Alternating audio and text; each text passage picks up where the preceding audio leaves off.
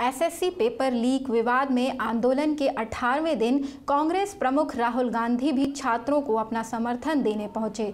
गौरतलब है कि विरोध कर रहे कई छात्र भूख हड़ताल पर बैठ गए हैं। आंदोलनकारियों का कहना है कि उनकी दो मांगें अभी तक नहीं मानी गई हैं।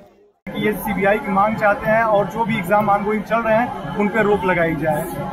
दिल्ली में चल रहे इस आंदोलन के समर्थन में देश के अन्य इलाकों में भी विरोध प्रदर्शन किया जा रहा है।